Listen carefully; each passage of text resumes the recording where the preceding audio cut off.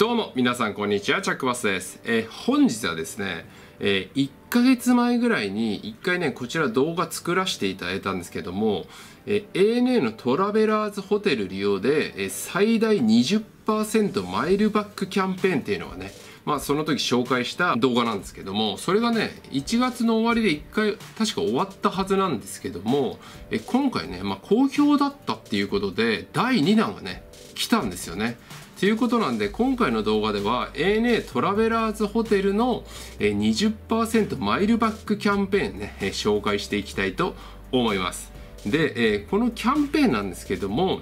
予約期間がねまずね予約期間が1月の31日から3月の30日まで宿泊期間が2月1日から3月31日までのキャンペーンとなっております。で、えー、こちらねキャンペーン自体はですね、まあ、エントリーが必要ですので、えー概要欄にね URL 載せておきますので、まあ、確実にそちらからエントリーする、えー、プラスですね、まあ、こちら何回でも制限なく利用できますんで、まあ、何個かね宿泊予約を持っている方は毎回エントリーして予約エントリーして予約みたいな感じでね毎回エントリーするようにしてくださいね、ま、これエントリーが漏れてしまうと、えーもらえなくなってしまいますんでね、えー、その点は注意していただけたらなと思います。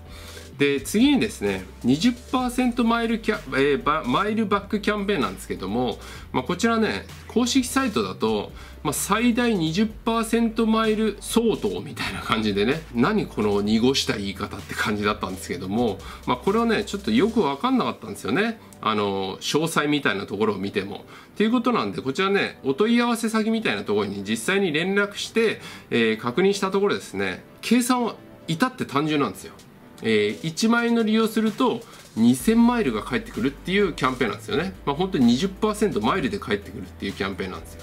いや、これすごいですよね。1万円のホテル泊まって2000マイル返ってくるってことは、まあ、10万円のホテル泊まれば2万マイル返ってくるわけなんですよね。まあ、まあ、ここまでいかなくてもですね、あのかなりすごいですよね。もし、えー、これから記念日とかねまあなんか特別な時とかにそういう高いホテルにね宿泊予定があるみたいな方はね10万円のホテル泊まったら2万マイル帰ってくるって沖縄往復できちゃいますからね。うん。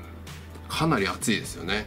であのこちらのキャンペーンなんですけどもえ1000万マイル達成した時点でこのキャンペーン終了してしまいますんで予約期間は一応3月30日っていうふうになってるんですけどもあの達成したら終わってしまいますんでね、まあ、その点はあの注意しておいていただけたらなと思います早めなあの決断がまあ必要っていう感じですよねでこちらねマイル付与期間なんですけどもえー、宿泊期間がね、えー、3月31日までっていう風になっておりまして、まあ、かなり先ですよね。っていうことなんで、あのそれが終わってからっていう感じで、えー、付与自体は、え4月の末にま付与されるっていう感じになります。次ですね、えポイント、え今回のこの ANA トラベラーズホテルの20%マイルバックキャンペーンのポイントをちょっと覚えててほしいポイントがありまして、こちらの、ANA トラベラーズホテルの検索すると出てくるホテルは、もうプランやね、ホテルにかかわらず、えー、全部対象っていう風になっております。で、えー、支払い方法もね、何でも OK なんですよ。ですんで、まあ中にはですね、あの、ホテルって、まあトラブルがあった時にね、なんかあの、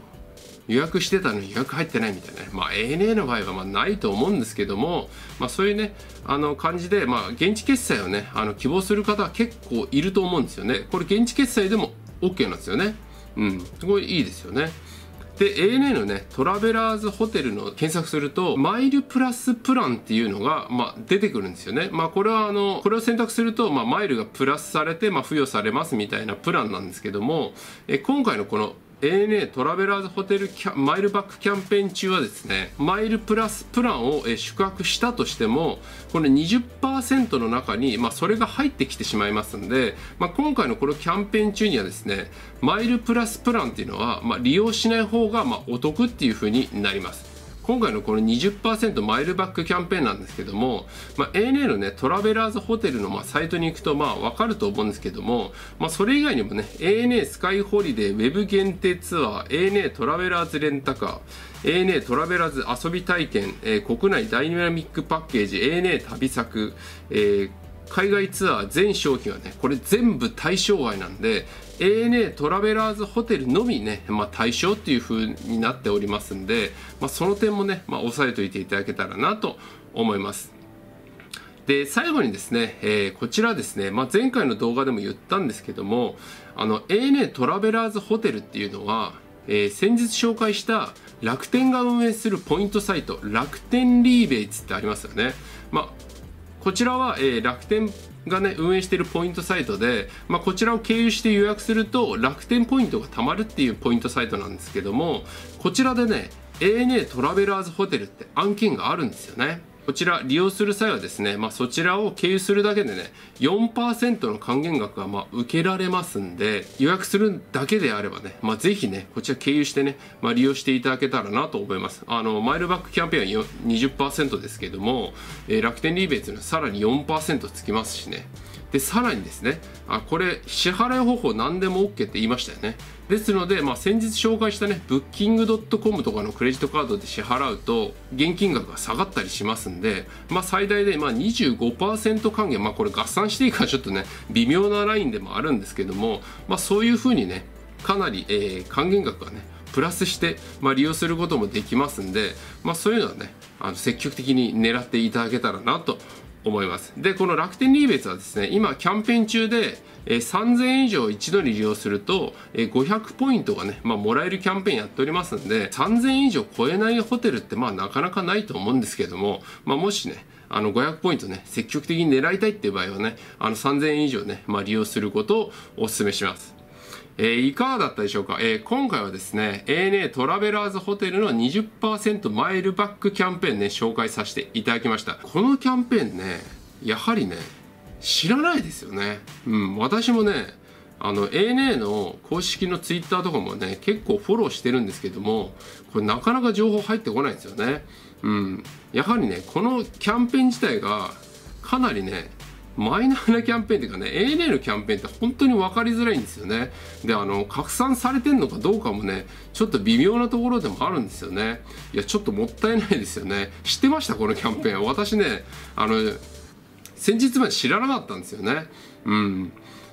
なかなか見つけるの難しいですよね。っていう感じでね。でもちょっとねもったいないですよね。うん。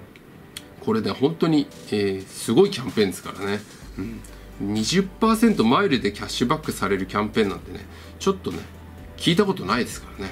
家族旅行とかでね、まあ、利用される方もまあもちろんいいと思いますし、まあ、一番のおすすめはですね出張で、まあ、自分でホテルをね抑えていいよって言われてるような方はねこれね狙わない、あの、利用しないわけにはいかないですよね。うんまあ、ぜひね、積極的に狙っていただけたらなと思います。でね、この ANA トラベラーズホテルの、えー、検索するとね、マリオットボンボイ系のホテルもね、出てくるんですよね。で、えー、マリオットボンボイのね、ステータス特典、まあ私プラチナステータス持っておりますけども、まあそういうプラチナステータス特典とかをね、まあ利用できるかどうかっていうのは、ホテルによって結構変わったりしますんで、もしね、あの、このキャンペーンに乗りながら、マリオットボンボイ系のね、ホテルに宿泊したいっていう方はね、まあ、ちょっとね、ホテルの方に問い合わせてみるのも、えー、ありだと思いますね。その代わり宿泊実績っていうね、あの、ものには、まあ、つきませんので、まあ、その点は覚えておいていただきたいなと思うんですけども、もしね、プラチナステータスとかね、ゴールドステータスとか持っている方は、まあ、それだけでね、レートチェックアウトとかね、もしかしたら利用できるかもしれないんでね、っていう感じでね、まあ、利用してみて,、えー、いただいてもいいんじゃないかなと思います。えー、今回の動画はね、えー、こんな感じで終わりたいと思います。この動画役に立った方、いいね、チャンネル登録、ぜひお願いいたします。私、ブログ、ツイッターもやっているおりますんで、フォローとチェックしていただけるととても嬉しいです。えー、それではまた次の動画でお会いいたしましょう。バイバイ